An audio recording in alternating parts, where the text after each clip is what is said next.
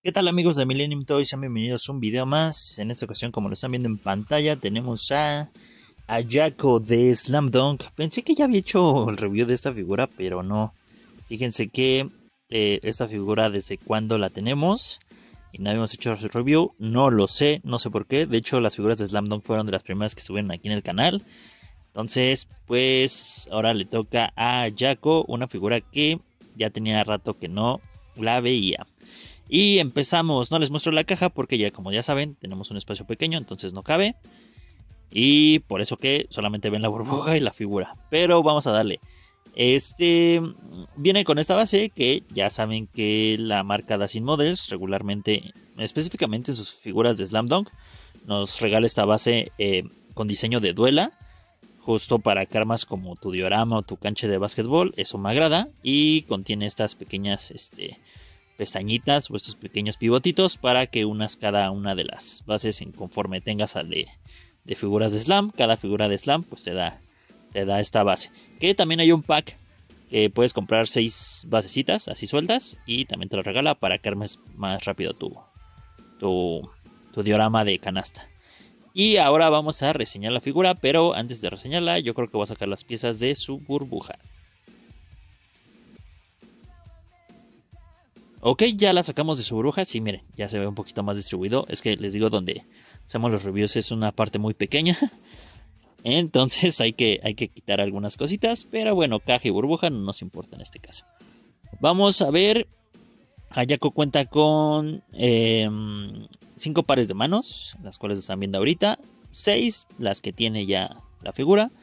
No se preocupen si viene de esta manera el, cambio de manos y ven esta parte así vacía. No se preocupen, aquí se las muestro de las cuales cuáles manos deberían de, venir en su pieza. ¿Ok? Entonces no se me espanten. A veces el distribuidor hace esto porque le sobran estos pequeños plásticos. Entonces ahí coloca las manos. Una para que esté mejor distribuido y dos para que no se maltraten tanto las manos. Que si se dan cuenta tienen los dedos un poquito doblados porque estuvieron ahí bailando dentro del empaque. Vamos a empezar por la ropa. Ayako cuenta con dos cambios de ropa, justo el que están viendo que es como de entrenamiento. Ella en el anime es como parte de la entrenadora, ¿vale? Por así decirlo. Eh, aguadora, no sé cómo se le diga. Entonces tiene su traje como... o su primera vestimenta como de, de deporte. Y esta segunda de escolar, ¿vale? Porque también en el anime pues, vemos a, a, Yako en sus clases, obviamente, y pues usa este uniforme. Eh, los, dos, los dos conjuntos son completamente de tela. Aquí, por ejemplo, lo interesante es que sí viene con un botoncito, el, esta, esta chamarrita, no sé cómo se le diga ahí en Japón, si es un suéter o una chamarrita, pero miren si cuenta con, un, con los botoncitos para poder cerrar esta chamarrita y la faldita también cuenta con un, con un botoncito ahí, entonces eso está padre. Viene también con este cambio de pelo. Si se dan cuenta, la figura viene con su pelo amarradito. Ayako no es completamente lacia, es como chinita. Tiene el pelo onduladito, chinito, así bonito. y tiene esa, ese cambio de pelo suelto. Viene con ese accesorio que es muy característico del anime, de los animes japoneses. Obviamente, pues anime japonés, pero eh, nunca he sabido qué es. No sé si es un abaco, digo, un abanico, ¿no? Este no sé, pero bueno, regularmente lo usan para pegarle a limas. Entonces, esta no es la excepción. También cuenta con dos cambios de rostro, a diferencia de los otros personajes de Slam Dunk, Kayako no cuenta con muchos cambios de rostro. No está mal, porque tiene muchísimos otros accesorios, pero me hubiera gustado a lo mejor otros dos este, cambios de rostros. Miren, así se le pone, déjenme ver. Hay que tener cuidado con sus, estos como con este pelito que viene así suelto porque está muy delgadito, no lo vayan a romper. Ah, ah, ah, pero así queda más o menos. Eh, no me molesta que vengan con estos tres nada más cambios de rostro, pero me hubiera gustado que vinieran con otros dos, ¿vale? Sus expresiones que son, una viendo así de lado, esta sonriendo y su cara como más seria de la cual ya tiene la figura. Entonces vamos a dejarlo por aquí. Eh, adicional, Ayako viene con estos dos cambios de rostro de Akagi los cuales, si se dan cuenta, es muy característico en el anime cuando hacen expresiones como chistosas. Entonces viene con estos dos, eso me agrada. Me agrada, pero pues sí te hacen comprar a Kagi por una parte y a Yako por otra para tener los rostros. ¿Vale? Estos dos rostros adicionales que definitivamente no deben de faltar en la colección porque miren, están súper chingoncísimos. Ah, ah, ah, tiene este cronómetro, como les decía, Ayako es parte del team de Slam Dunk, bueno, de, de ellos, y este, ayuda al director, ¿no? Eh, los ayuda en sus entrenamientos, entonces, pues, ¿qué no debe de faltar? La plumita, el cronómetro y esta tabla, ¿no? Para ahí hacer sus apuntes. Están súper curiosos los, los, accesorios, me gustan, me gustan. Muy chiquitos, entonces tengan cuidado de no perderlos o si tienen hijos o eh, niños pequeños, que tener cuidado de que no se los metan a la boca. Entonces hay mucho cuidado. Con el uniforme de... Con el uniforme eh, también vienen estos zapatitos, ¿no? Porque ella ahorita con el uniforme que trae trae tenis, entonces tenemos los zapatitos, los cuales hacen pues, obviamente juego con, con su uniforme ahí escolar. También está, está chido, miren aquí también chiquitos. También viene complementando tanto el uniforme escolar como el uniforme de entrenamiento. Del entrenamiento pues viene esta gorrita eh, rosa con amarillo y por parte escolar viene con esta maletita o mochilita también muy característica en los animes de, Japón. No sé si en Japón usen ese, tipo de maletitas.